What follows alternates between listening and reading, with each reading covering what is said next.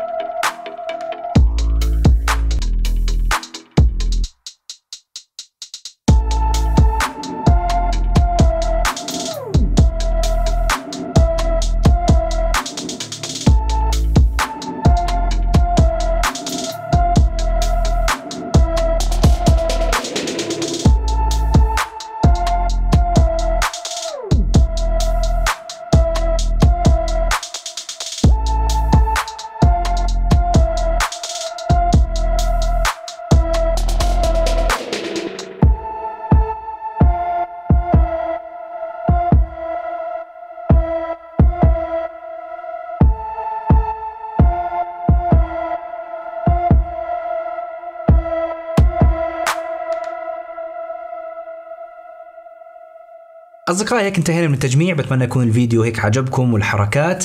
الآن مباشرة نروح على اختبارات الأداء. benchmark ألعاب وكل شيء بدكم إياه. وبالتوجه للاختبارات أصدقائي بداية مع اختبار ال heavy load. ضغطنا المعالج لفترة جيدة وفعلا حافظ على أدائه وبالنسبة للحرارة وصل أعلى شيء تقريبا 80 82 كانت أعلى درجة حرارة وصلها مع ضغط قوي على هذا المعالج. وبالتالي هذا بيثبت أداء المعالج العالي مع التبريد القوي يعني اللي عم بيبرد هذا المعالج. أما باختبارات ال V-Ray وبالتركيز على أداء المعالج بالرندرة فحصلنا على 16573 نقطة. وبالتوجه لاختبار ال Cinebench فقوة المعالج مع التبريد الموجود مع ال motherboard كلها راح تعطينا هي النتائج الجيدة اللي حصلناها واللي كانت على ال multi-core 15063 نقطة. أما على ال single core فكان الرقم عندي 1581 نقطة. وبالتوجه لاختبار كرت الشاشة ومثل ما ذكرنا أصدقائي كرت الشاشة اللي عندي هو كرت شاشة من الفئة الاقتصادية. فباختبارات ال FurMark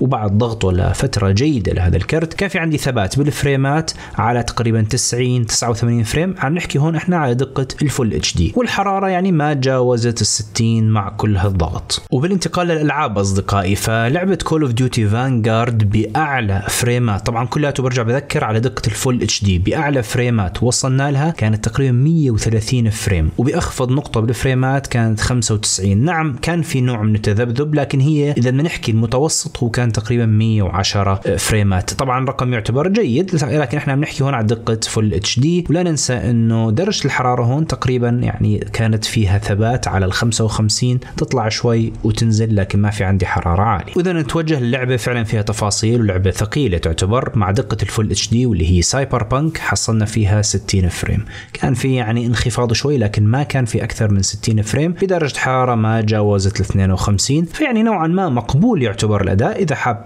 يعني تلعب على ال full HD ما عندك مشاكل فرح تستطيع تلعب الألعاب هي كلها بكل بساطة. وآخر شيء مع لعبة عالم مفتوح أيضا على دقة ال full HD واللي هي Days Gone بهي اللعبة يعني كان في شوي صعوبة بالوصول لل 60 فريم لكن ما كان في انخفاض كبير. فيعني أعلى شيء وصلنا له حوالي 59 وأقل شيء 55 يعتبر جدا مقبول. عم نحكي عن لعبة عالم مفتوح تفاصيل فيها كبيرة. درجة الحرارة تقريبا كان فيها نوع من الثبات على ال 55 درجة فالأمور أيضا طبيعية وجيدة. هاي النتائج أصدقائي مثل ما شفتوها وخلينا نروح بشكل مباشر على الخلاصة ورأيي بهي التجميعة.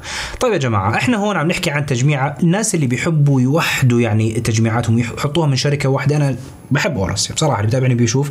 فشفت هي تجميعه جميلة جدا. اخترت القطع اللي عندي كلها من AORUS وجمعتها. بعرف إنه أنا لعبت يعني ألعاب كلها full HD لو إنه كان في عندي كرت شاشة أعلى كنت بختاره لهي التجميعة بحيث تصير كلياتها متوسطة لمتوسطة عالية ما فينا نحكي فيها عالية ولا فينا نحكي انها اقتصادية. فبفضل فقط أنا رأيي إني أرفع المعالج أو أرفع كرت الشاشة عفوا وأنتم حطوا لي رأيكم بالتعليقات. هيك راح ألعب 2K وأنا مرتاح. وقد ألعب بعض الألعاب 4K وأيضا يعني مو أحصل على على فريمات لكن بتكون بالسليم. قطع كلها بعد الاختبار بصراحة أثبتت جدارتها وقوتها بنصح فيها أكيد بشكل كبير بالنسبة للناس اللي مقبلين على تجميعات جديدة. الآن إحنا بنحكي عن يعني أسعار مناسبة للجميع خصوصا في انخفاض بكروت الشاشة حكيت بكثير مرات. واكيد لا تنسونا من المتابعة واللايك والدعم ونشر الفيديو بين أصدقائكم. واي سؤال اي استفسار بالتعليقات كان معكم عبيده من قناة تكتوبيا. السلام عليكم ورحمة الله وبركاته.